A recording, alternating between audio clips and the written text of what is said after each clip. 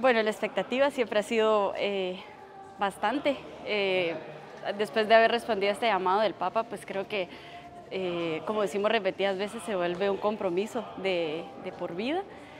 ¿Qué espero? espero seguir sembrando ese, sueño de, querer construir cosas a, futuro, poder transformar realidades desde lo poquito que hago.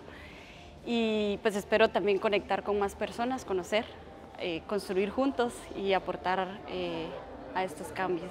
Yo creo que ha sido muy valioso, muy importante. Nos ha permitido primero conocernos, que ya al venir aquí en persona es, completamente eh, emocionante.